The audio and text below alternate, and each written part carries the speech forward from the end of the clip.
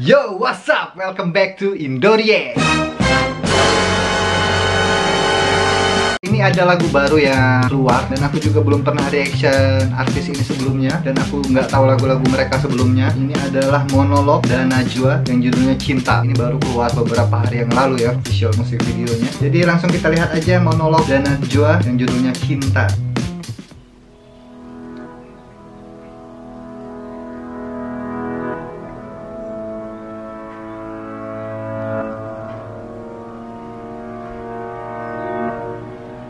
Ini kisah lama ini Long Punggu.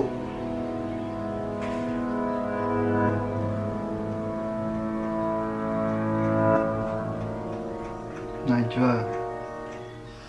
Kau hadir bila tiba waktunya Asik. Tidak diundang Tak jua dipinta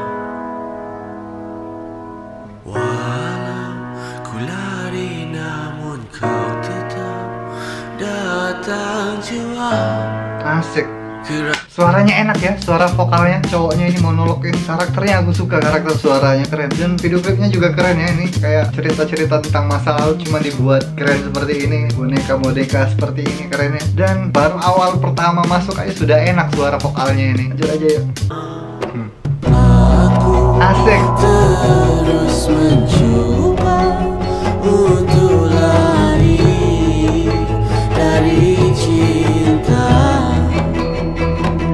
asik lagunya ada etniknya ya ada gamelannya di dalamnya ya. Wah keren lagu ini keren ini monolog ini. Dan Najwa pas dia masuk suara gamelannya tuh kerasa enak banget ya. Aku paling suka ya musik-musik yang ada sentuhan etnik seperti ini. Unik ya. Dan suara Najwa juga tadi cocok juga kayaknya dengan suaranya monolog ini. Lanjut kita dengarkan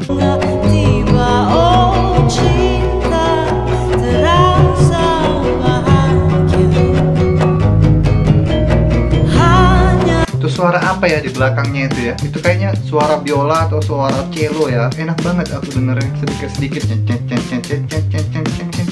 kayaknya itu suara cello atau biola suara Najwa ini keren ternyata kayaknya kalau dia teriak ini keren banget suara Najwa ini cocok ini mereka berdua featuring Ini Dodaikan.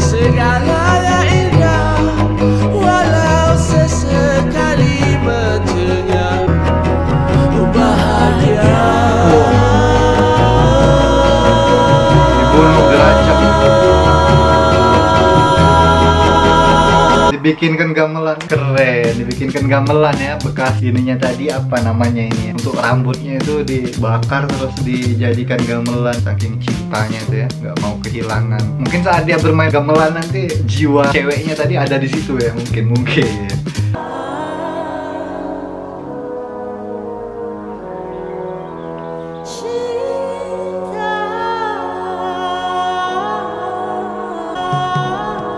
bunyian gamelan Malaysia di abad ke-21